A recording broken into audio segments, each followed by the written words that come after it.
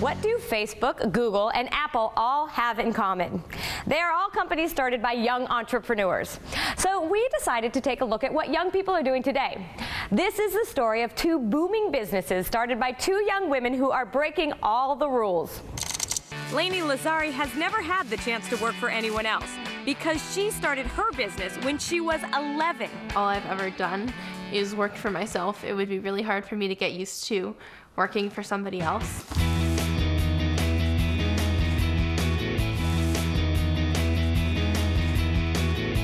Lazzari's Pittsburgh, Pennsylvania company, Simple Sugars, is also grappling with the challenges of a fast growing business.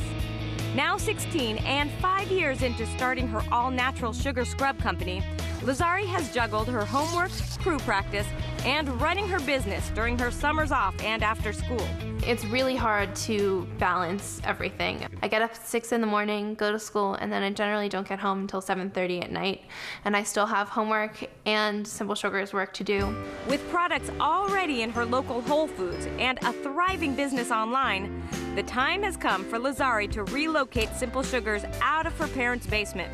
Her next move is renting office space and hiring employees. Big steps for a teenager running a business in her spare time. It's starting to be too much volume for me to just handle by myself. I really need somebody who can come in and help me do things like pack up and ship out orders because right now I'm spending too much time working in my business and not enough time working on it. Ron Morris, professor of entrepreneurial studies at Duquesne University and host of the radio show An American Entrepreneur, says the novelty of Lazzari's youth is what makes her business exciting. Without it, Simple Sugars would just be another cosmetics company. She has got to exploit her prime differentiator, which is her youth and her her freshness. And I said to her, I said, Lani, unfortunately, uh, two more years from now, you'll be 18 years old, and you're just going to be another 18-year-old. I know that sounds uh, callous and, and uh, hard. But it's true because Lani is the product, not the substance. In order to have her best shot at making Simple Sugars into a million dollar company, Morris gave Lazzari some surprising advice.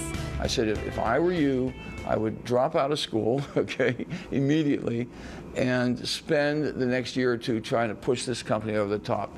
Because as I said to her, I said, right now, you've got one shot in 10 of hitting a home run. Each year that goes by, I think you can, uh, I think when she's 18, she's going to have one shot in 100, and when she's 21, it's going to be one shot in 10,000. And although it may seem to break all of the conventional rules to become a full-time entrepreneur and put high school on hold, that's what entrepreneurs do best break the rules.